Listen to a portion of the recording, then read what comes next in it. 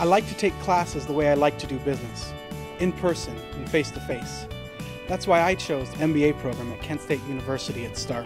The class sizes are small, which makes them very personalized. That's important to me.